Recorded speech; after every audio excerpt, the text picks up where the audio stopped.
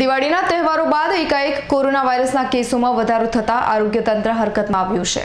રાજ્યમાં કોરોના વાયરસની ગંભીર મહામારી ચાલી રહી છે. જેમાં દિવાળીના તહેવારો બાદ રાજ્યની સાથે ઉત્તર ગુજરાતમાં કોરોનાના કહેર વધતા આજરોજ દિયોદર મામલતદાર કચેરી ખાતે અધિક કલેક્ટર એમબી ઠાકોરના અધ્યક્ષ સ્થાને બેઠક મળી હતી, જેમાં આરોગ્ય અધિકારી અને પોલીસ અધિકારી ઉપસ્થિત રહ્યા હતા.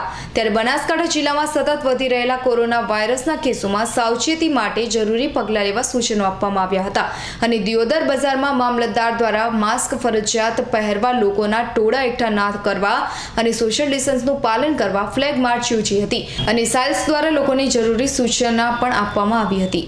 વિજય પઢિયારનો રિપોર્ટ દિયોદર.